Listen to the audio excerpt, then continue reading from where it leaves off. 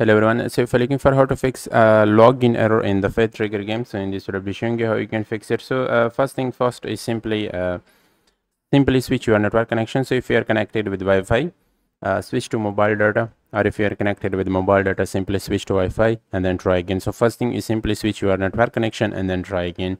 But if you switch your network connection and you're still getting this error and it's not working properly with you, then uh, in this case you need to uh, simply go to the control panel and you need to turn off the window defender firewall. So simply search bar control panel in the search bar then open window defender firewall.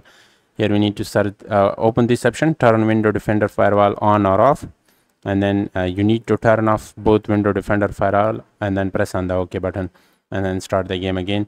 Also you need to make sure that you have a strong network connection. If your internet connection is not good it can also cause this type of issue and uh, make sure that you are not connected with any type of VPN uh, because it can also cause this type of issue. So once you do that, then right click on the game icon and run the game as an administrator and then start the game again. So these are some of the best things to do to fix this type of issue in the game. I hope this will help you and subscribe this channel for more informative this. Thanks for watching. See you in the next video.